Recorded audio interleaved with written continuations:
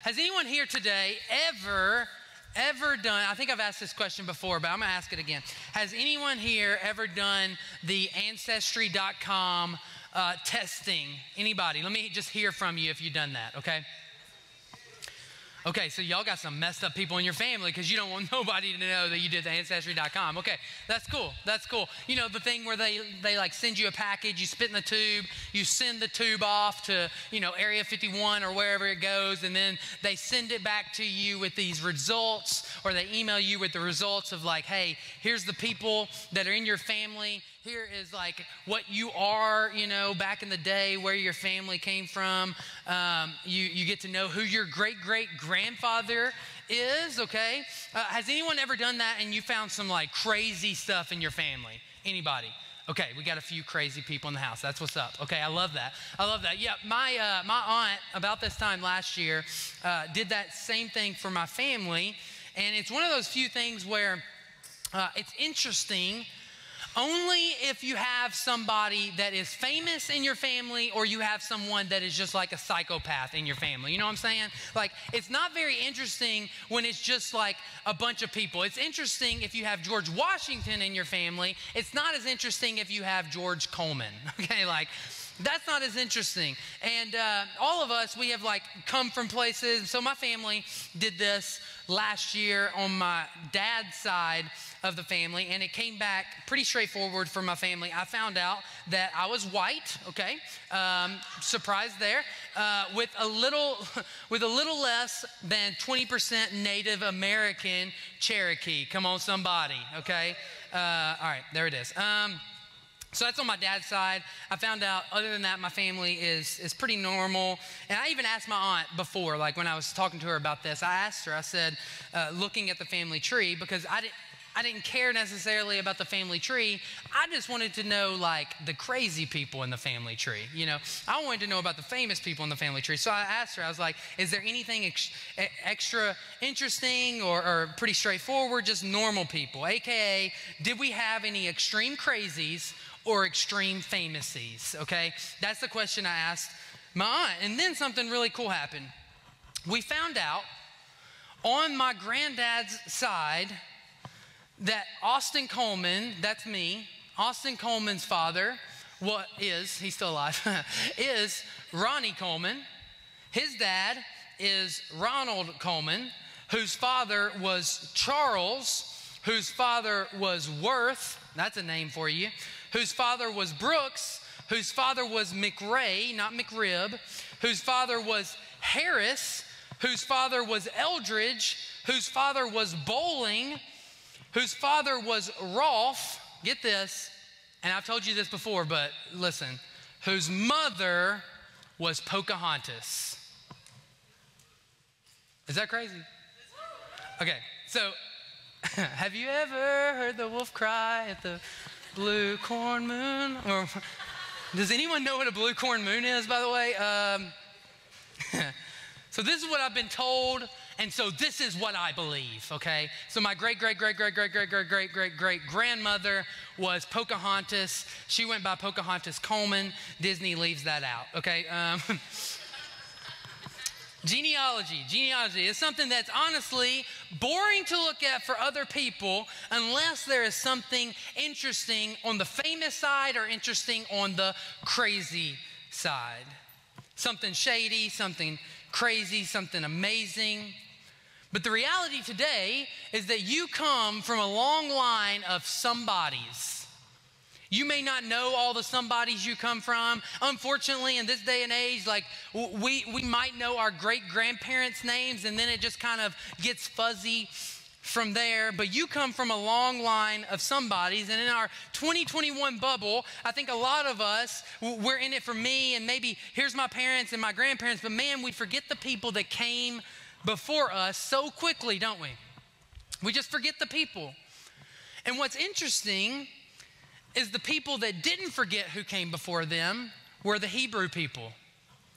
See, the Hebrew people, the ancient Hebrew people, the Jews were very conscious of who was in their family. It meant a whole lot to them It meant more to them than just some kind of fun party game where I can say, yeah, you know what, my great, great, great, great, great grandmother is Pocahontas. Like, it meant a whole lot to the Jewish people. Who their parents were and where they came from was very, very, very important to them. It would at times dictate who they could or couldn't become.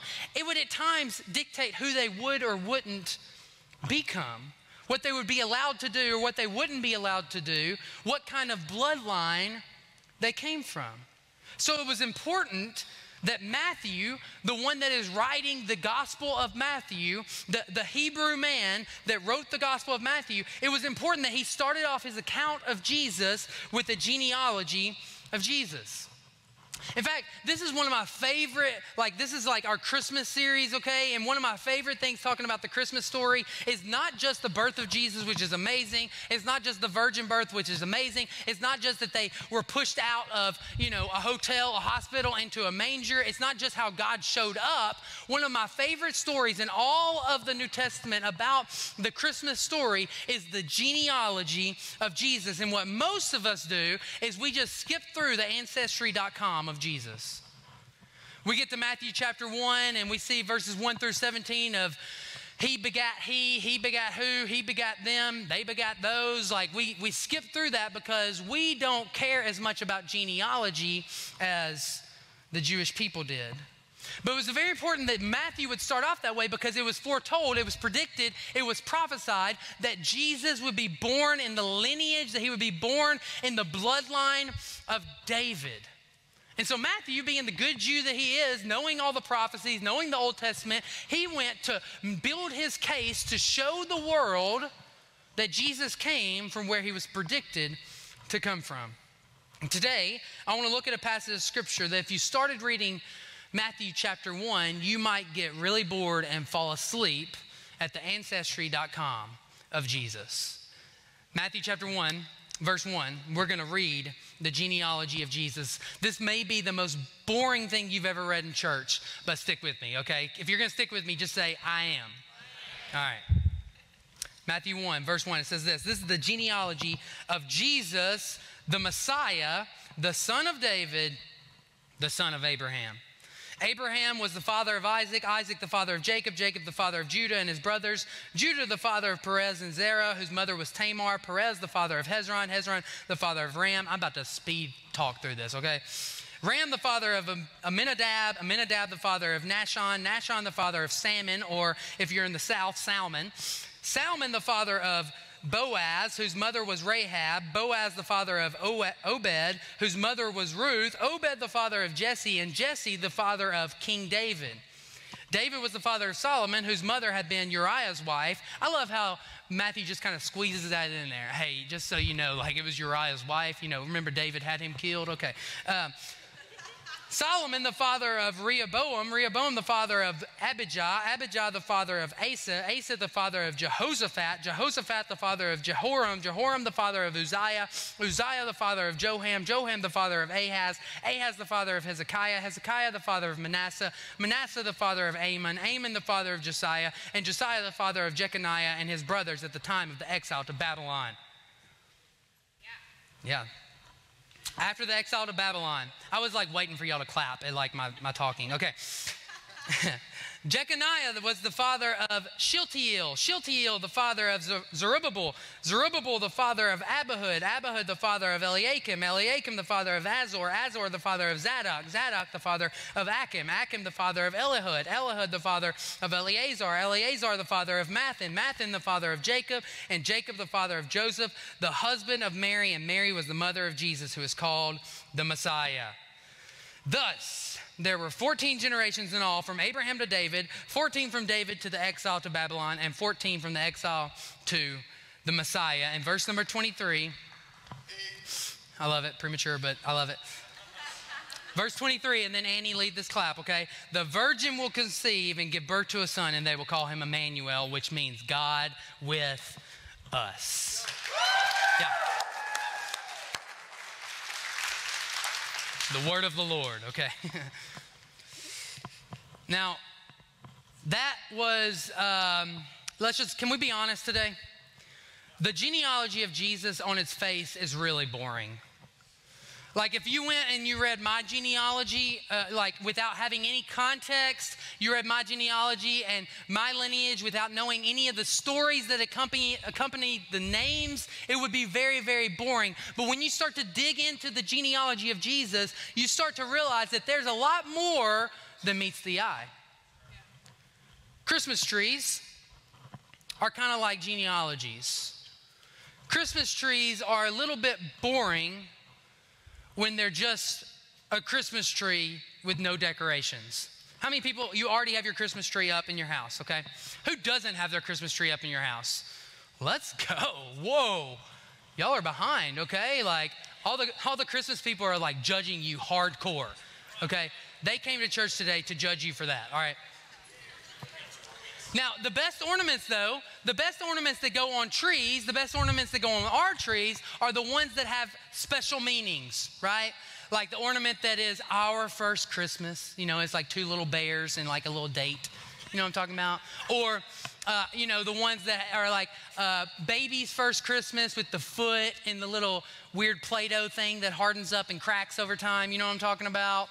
The ornaments that mean the most are the ones that have the most meaning. The ornaments that, you know, you throw away and you get new all the time are just the little balls that, like, you know, don't mean anything. My son Kobe, he has no respect for ornaments at all. That, that boy runs in there and he says ball and just grabs it, boom, chunks it across the room. Like, no respect at all for the ornaments. Now, ornaments on a tree, ornaments on a tree, they come with meanings behind the ornaments. In fact, the ornaments actually become explanations of moments in time.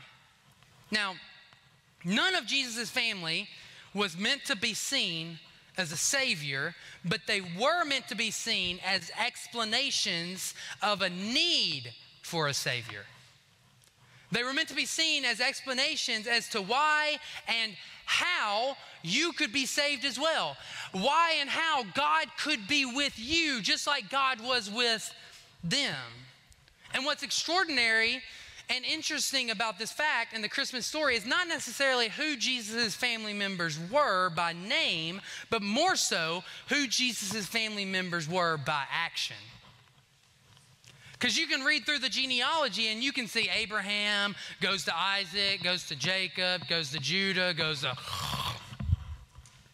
But when you start to read into it and you start to realize that all of these names have experiences and all of these names have stories, it becomes to become uh, uh it becomes into a different story. In the life of Jesus, here's where these people came from all right? They, they, they are almost like the ornaments on a tree. You got the tree here, and the first one that we see is good old Abraham. If you know the song, Father Abraham had many sons. Many sons had father. Y'all some churchy people. Okay, all right. All right, so we got Abraham. Abraham is the father of our faith, okay? Y'all are still singing that song. All right, chill out a little bit. we need to get some more lost people in here. All right. Um, Father Abraham had many sons, and one of his sons was Isaac. Y'all remember Isaac? There's not a cute song that goes with Isaac because his story is just not as interesting. Because his his his cool story is that uh, his dad tried to kill him. So there was that. Y'all remember that? Abraham offering Isaac to the Lord, and then the Lord provided a ram in the bush. The Lord provides. Okay. And then you got Jacob. Y'all remember Jacob? Which is great. Uh, Jacob, if you're named Jacob in the house, then your name also means heel grabber. Okay, way to go. That's, that's awesome. Jacob uh, was the son of Isaac, and uh, in fact, Jacob, I don't know if you've ever noticed or not, but Jacob doesn't deserve to be in this lineage. Do you know this? Jacob actually uh, was not the one that deserved the birthright, it was Esau. But Esau sold his birthright for a cup of stew, okay? Uh, that's a different story. You can go read that and get your mind blown, okay? You got Jacob, and then from Jacob, we got Judah. Now, Judah, his big claim to fame was that he wasn't Joseph. any, any siblings feel that way? It's like, yep, I'm Austin, but I'm not Madison, you know? Not bitter.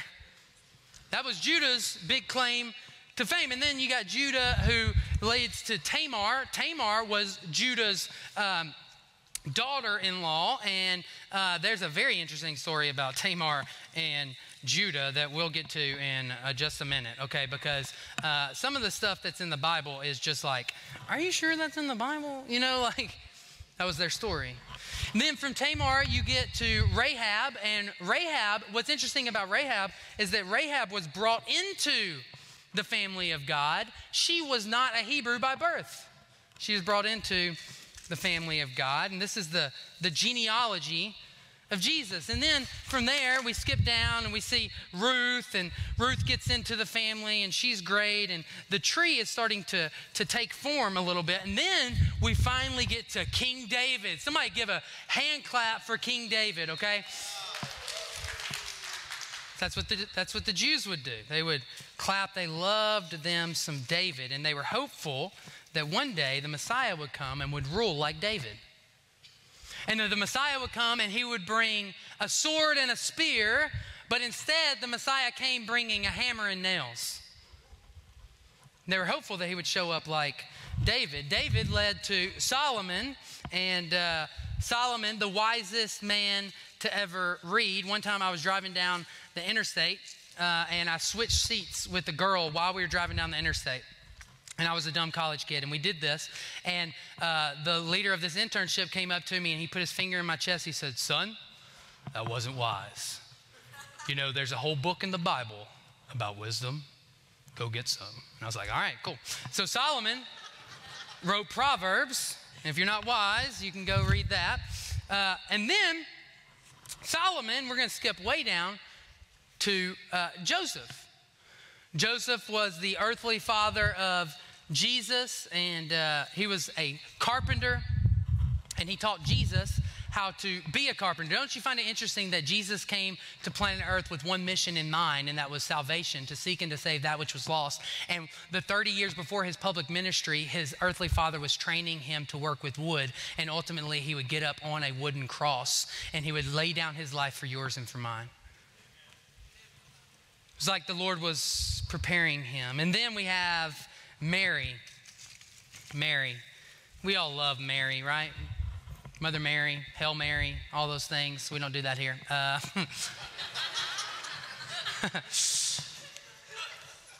but Mary, teen mom, Mary, she was uh, the virgin that God chose, get this, that God chose to carry his very son. How crazy is that? that he saw that Mary was fit to, to raise the very Son of God. And what I find interesting is that Matthew didn't include these people to show you that they were royalty and that they can save you. He, he, included them to show you, to show me that Jesus came from messed up people for messed up people. He, he included all of this genealogy. I believe that the Holy Spirit inspired Matthew to write down on, on this, on this, into this book we now call Matthew and collect this story of Jesus together. I believe the Holy Spirit inspired him and he led him to write down the genealogy, not so we would see how good they are, but so that we could see how bad they were and we can see that Jesus came from messed up people for messed up people. That Jesus didn't come from perfect people, he came from messed up people. So, my question to you is who's messed up today? Come on. It's okay to be messed up. We're all messed up. And we don't say it out of joy of being messed up, like, yep, you should have seen what I did last night, Pastor. I'm real messed up. We don't say it out of joy of being messed up. No, we say it out of joy of knowing that there's a Savior that came from a bunch of messed up people for messed up people just like me and just like you. Well, we say that we are messed up, that we are sinners, that we are unrighteous because we know the one that is righteous. The one that came from a family tree as messed up as this. See, in this story, I think that we need to see two realities from the genealogy of Jesus, two realities that this Ancestry.com of Jesus shows us. Number one, if you're taking notes, if you got a journal on your way in, I hope you did. Uh, we're going to be walking through devotionals over the next three weeks. That's going to be so helpful for your spiritual growth and mine. Right, number one, God works through real people, not just ideal people. And somebody said, Amen. He works through real people, not just ideal people. See, this never says Abraham, ah, but he was too messed up. Did you catch that? It never says it would have been so and so, but he was just too far gone. It never says and it never attaches the sin of the person in the genealogy. You know what it, it, shows us? It shows us that Jesus didn't come from righteous people because if he came from only perfect righteous people, it may lead us to believe that he is only for perfect righteous people. See, here's what I find interesting is that when you revisit the tree, okay, and uh, some of you may not be able to see this. I don't know if they're going to put it on the screen or not. But when you revisit the screen, the, the, the tree, you can see that Abraham in his story, when you flip it over, Abraham wasn't just the father of the faith, Abraham was also a giant liar. Some interesting stories about Abraham and how he would visit different kingdoms. In fact, Abraham offered his wife to be slept with so that he wouldn't be killed. A giant liar. Today we're like, man, Abraham like canceled. Abraham. Isaac, he wasn't just the second born, he wasn't just the, the next one ready to go. In fact, Isaac was just a terrible parent. Isaac preferred Esau over Jacob. He was a terrible parent. And then we got, let's see, we got Jacob here. Jacob, the hill grabber, the cheater Jacob was a cheater. He cheated out Esau from his birthright. And he, we follow Jacob all throughout his life, and he continues to fall into this pattern of cheating and cheating and cheating to get his way out of different situations. Then you see Judah, get this, he was just not Joseph. not Joseph. And I don't know, maybe you walked in here today and like you're the favorite child because, you know, parents don't really have a favorite, but you know they got a favorite. You know what I'm saying? Um, and maybe you walked in here today and, like, in your job or in your family or wherever, fill in the blank, you have a feeling that, you know what, I'm just not them. That was in Jesus' family. And then you got Tamar. Tamar was deceptive. She was deceptive. She was a liar. She was a cheater. In fact, what's interesting about Judah and, and Tamar is that uh, Tamar was his daughter in law, but Tamar also deceived Judah into sleeping with her because she was upset with him. And Judah, he was not just not Joseph, he was also an adulterer because he went and got a prostitute and he didn't realize he was so clouded, he didn't realize that the prostitute was his daughter in law. This is in Jesus's genealogy. These are Jesus genes, baby. Mess up people, man. All right. Then we got Rahab. Rahab was a prostitute. She was unabashed about it. She, she, she was a prostitute, and that's how she made her living. She was a prostitute. Then we got David, King David. Oh, King David, the perfect one. King David, we love King David. He was an adulterer. And not just an adulterer, and we're going to talk more about King David next week. He was an adulterer, he was a liar, he was a hypocrite, and yet scripture says that he was after God's own heart. Man, how do you have that dichotomy? David, if you're not familiar with this story, David saw Bathsheba bathing on her roof and he fell in lust so badly that as the king, he asked her to come over. He slept with her, impregnated her, and then to try to cover it up, he goes and he sends Uriah, her husband, uh, home to sleep with her so that it would look like Uriah, Uriah impregnated her. And Uriah was such a good man, he refused to sleep with his wife while they were at war. And so King David sent Uriah to the front lines to be killed. He was an adulterer, he was a murderer, he was a hypocrite. And then, let's see, we got over here, we got Ruth. She was an outsider. She wasn't a part of the family. She was an outsider. She was coming in from the on the outside. And maybe you feel like you're an outsider today, whether it's in the faith of Christianity or you feel like an outsider in your own home or you feel like an outsider wherever it is. Guess what? That's in Jesus' genes too. Then we got who do we got here? Solomon. Solomon, the wisest man that ever lived, was also one of the dumbest men to ever live. and Ecclesiastes, we read all throughout that, that whole book, you get to see a really wise man understand his really dumb decisions. He gave away his heart. And then we got uh, Joseph, and Joseph is a little bit similar to some of the other ones. He was just a carpenter. It's funny, you read the story uh, all throughout the Gospels, and you say, it, one, of, one of the passages says something along the lines of, Isn't this Jesus, the carpenter's son? He's just a carpenter. How would Jesus know anything? He's just a carpenter. And then you got Mary, the goat teen mom, greatest teen mom of all time. But that was her story. See, Mary yes, was a virgin and she conceived of the Lord, but listen, like everyone around her saw her just as a teen mom. They didn't see her in the same way that God saw her. And it shows us, knowing some of the backgrounds of some of these people, it shows me and it should show you that Jesus came from a bunch of messed up people for a bunch of messed up people. He didn't come from perfect people. He didn't come from perfect, perfect saviors. He came from messed up people. My Jesus came from a lineage of sinners. He came from a lineage of messed up, real people, not perfect people, but real people. That's why in Romans chapter 5, verse 8, it says that while you were still a sinner, Christ Jesus died for you.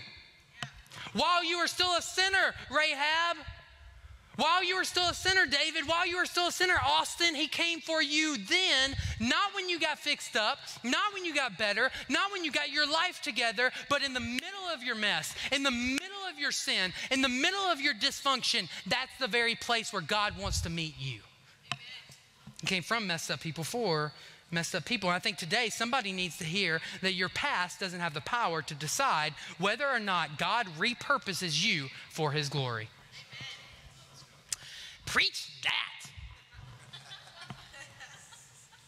Your past does not decide, your past cannot dictate whether the Lord God Almighty, Jesus Christ, who got up on the cross to die for your sins, it does not dictate, it cannot decide whether God uses you in the future. I don't care if you've been in and out of prison. I don't care what you've done in your past. I don't care how many people you've slept with. Listen to me. I don't care any of that stuff. Your addictions, your chains, the things that have held you back. Listen to me. God can use you. If God could use Abraham, if God could use Isaac, if God could use Jacob, what's keeping him from using you? It's not your past. I can tell you that much. Somebody needs to hear that the family line of Jesus contained morally outcast people. That is a politically correct way of saying some cray crays, messed up people, that they needed a savior, just like you, just like me. So if you got some messed up people in your family, the good news is that God still wants to use you. I'm talking about like if you're from a small town and your dad was the local drunk, you know? And so when people see you, all they see is what your father did. I'm talking about you were raised by a mom that, that the city just, people in the city hated, people in your town hated because she was always just chatty Cathy, you know, the Karen back in the day. And all they see is her. Listen to me, that doesn't dictate whether God uses you or not. Your family, your lineage does not dictate whether God uses you or not because God used Jesus and this was his family lineage. In fact, I don't know that there's anybody in the world ever that has a lineage as messed up as Jesus. Can we just be real for a minute? Like, these people are messed up, man. Really messed up. Like, you think that you have daddy issues or whatever. Like, listen, Go talk to Isaac and Abraham. Abraham tried to sacrifice that boy. Like, listen, it was great that the Lord provided the, the, the ram in the bush, but man, you know that was an awkward trip back home. It's like, Dad, were you really gonna sacrifice me? Like, what's, we need to talk, you know? Somebody needs to hear today that the family line of Jesus contained racially diverse people. Jesus has some non Jews in his heritage. Why is that important for us to know? Why is that important for us to point out? It's important because Jesus wasn't just for the Jews. Jesus isn't just for the Middle, Middle Eastern man. Jesus is not just for the white girls. Jesus is not just for the black guys. Jesus is for anybody and everybody that will acknowledge that I have sinned, that I have fallen short of the glory of God, and I need freedom and I need grace from the only one that can give it, and his name is Jesus. It's not based on skin color, it's not based on where you're from, it's based on grace in Jesus. And what's funny is that Matthew doesn't put in the sin, he puts in the name. Here's why that's important the enemy knows your name, but he calls you by your sin.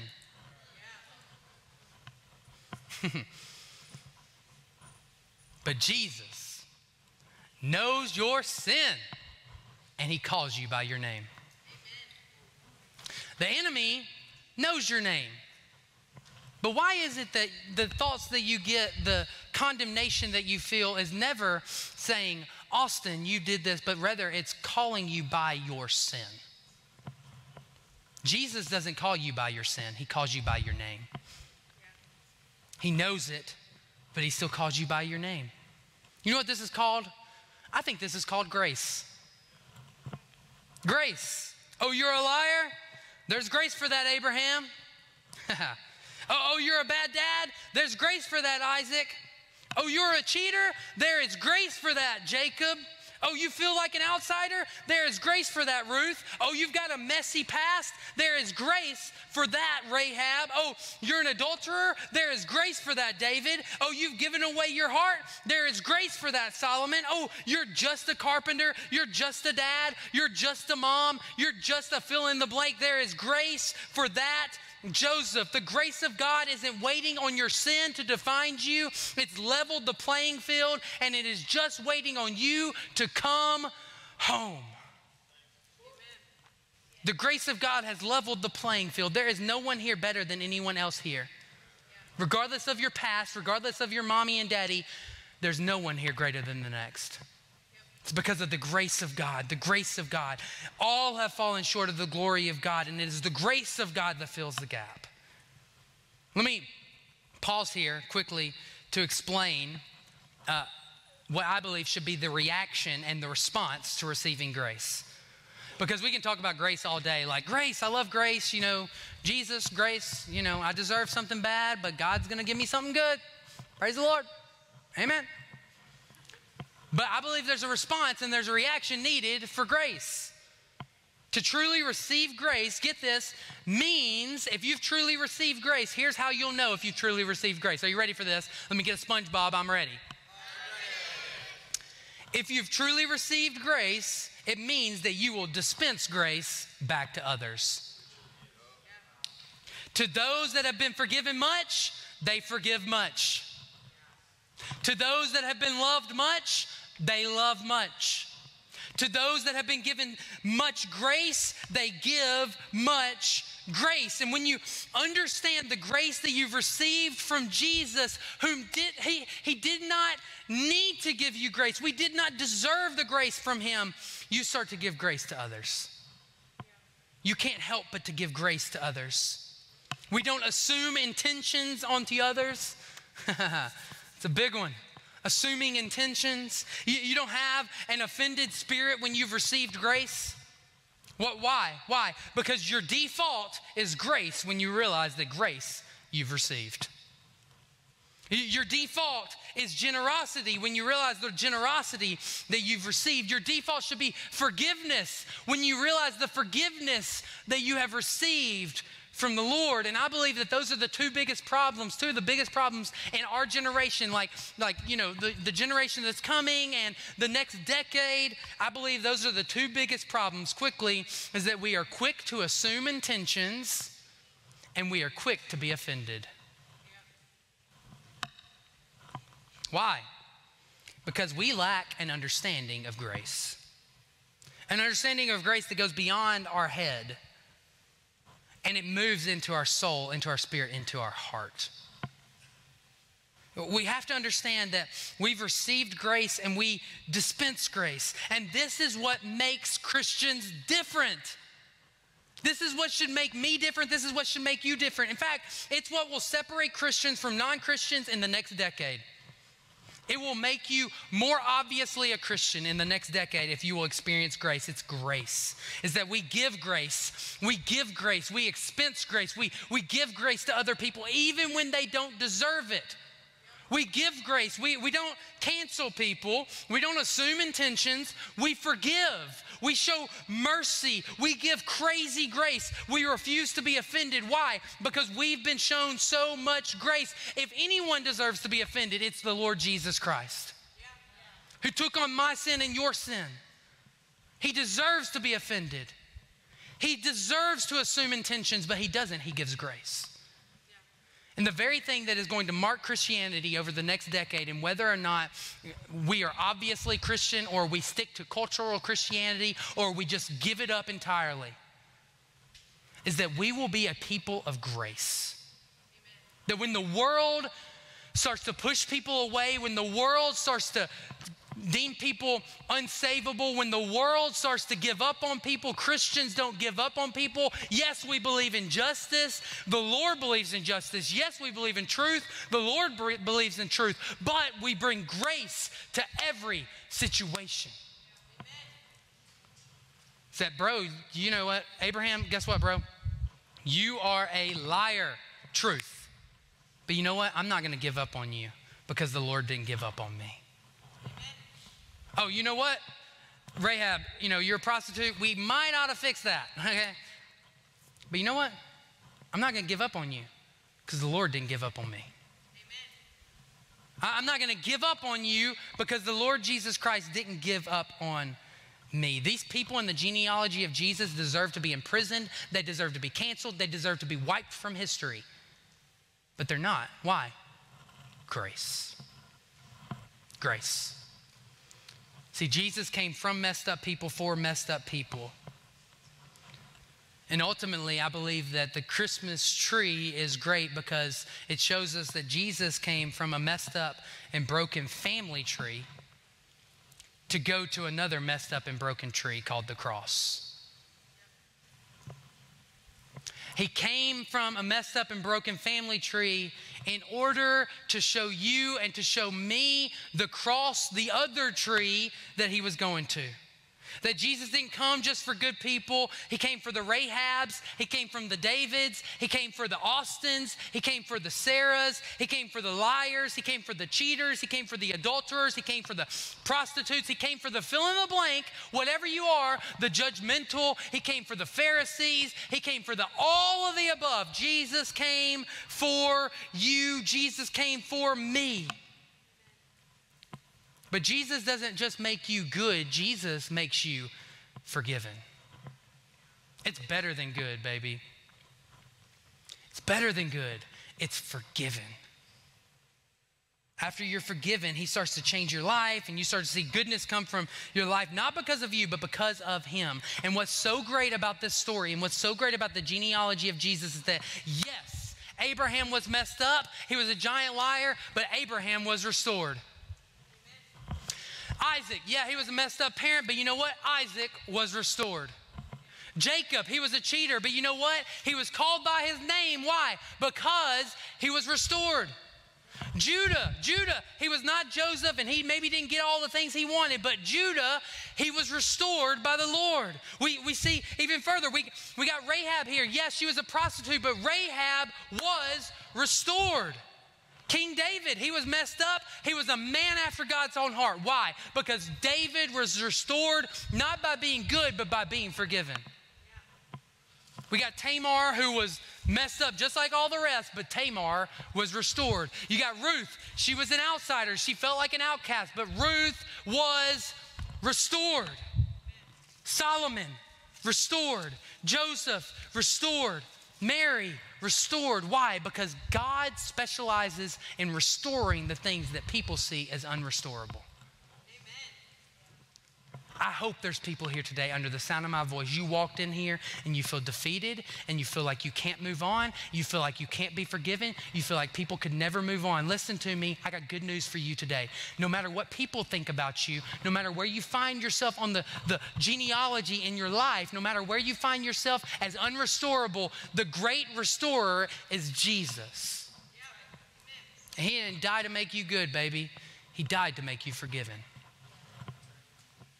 That's the truth. That's the truth. He didn't die to make you churchy. He didn't die to make you a giver. We're about to give in a moment. He didn't die to make you generous. He didn't die to make you a good person. He died to make you forgiven, to give grace so that you could give the grace He had given to you. The heads bowed and eyes closed.